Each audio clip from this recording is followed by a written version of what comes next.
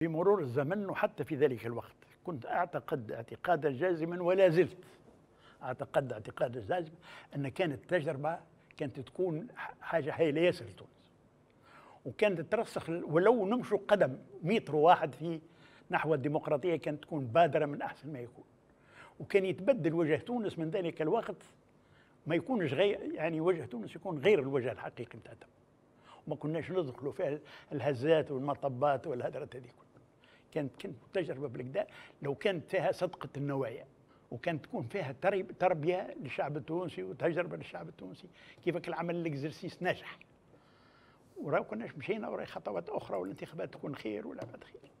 ولكن الغد أفسدها من أفسد الدهر لحاجات بسيطة لأمور شخصية ولا تمت لمصلحة البلاد بسلاح.